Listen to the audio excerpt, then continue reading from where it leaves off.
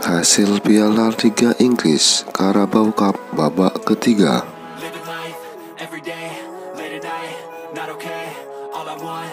Jumat 11 November 2022